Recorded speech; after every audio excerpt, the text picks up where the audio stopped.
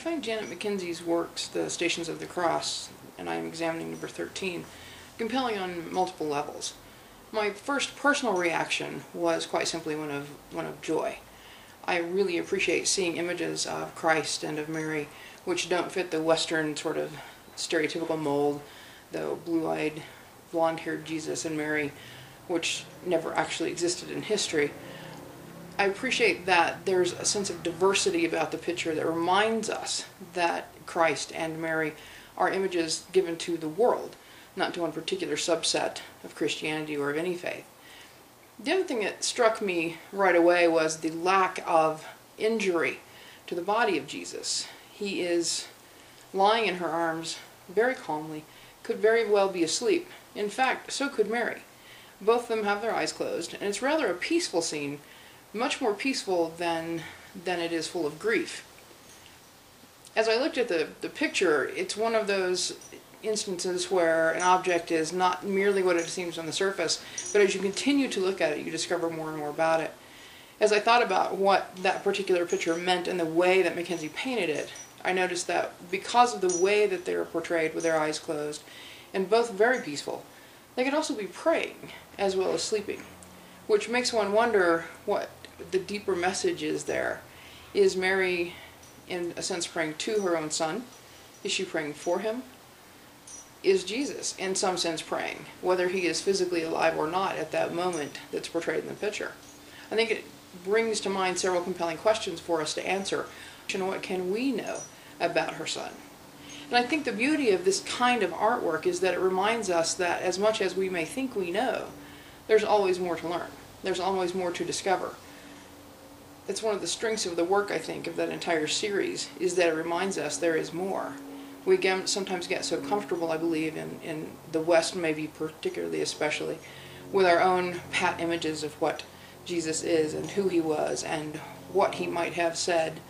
And yet, as we continue to grow in our knowledge, not only historically, but theologically, we come to understand that there's more to the picture, if you will, than has first met the eye. One has to consider, as Mary holds her son there, what was she feeling at that moment? Typically, we have we have tears and we have grief and we have sorrow and we have all of those things that that transmit the idea of tragedy. Yet in this picture, we have a very different viewpoint. Is this about acceptance? Is it about peaceful acceptance of what has happened? Is it about knowing that things will work out? Did Mary have some knowledge that her son wasn't done? That there was more to the story? Or was, did she simply trust that even though she didn't know what the plan might be, that there was in fact a plan? I think those questions can, can be relevant for all of us from a theological point, point of view. From an artistic point of view, again, I really appreciate the fact that what we have here are two figures who don't fit some stereotypical mold. It reminds us that there is diversity in the world.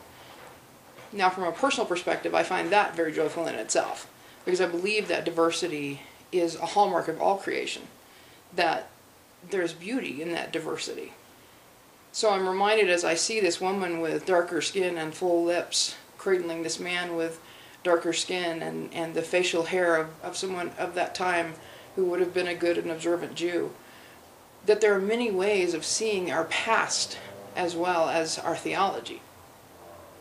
There is, I think, a sense that if something's not historically accurate, that it is not accurate. When in fact, when we look at the Stations of the Cross, we're talking about not history 101, but sacred history.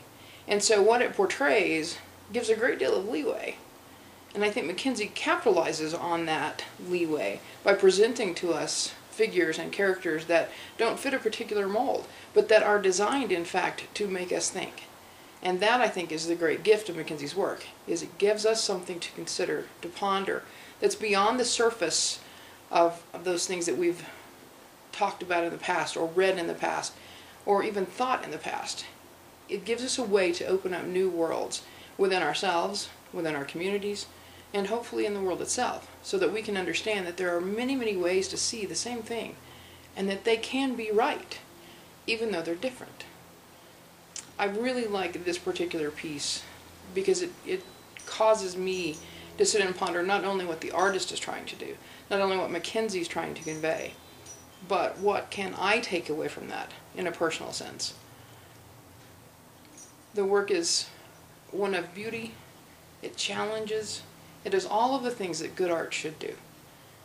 And when we allow ourselves to simply ponder that, to simply delve into what is this picture, I think we come away richer, not only in terms of what our own personal thoughts may be about our own faith, but understanding, I think, in a deeper way what art can contribute to history and what art can contribute to the world today, as we need so desperately to spur conversations that require the critical thinking that is so often lacking.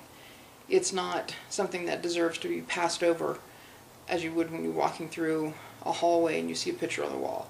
It deserves the time that it takes to sit and really think about what was the artist portraying? What was her intent?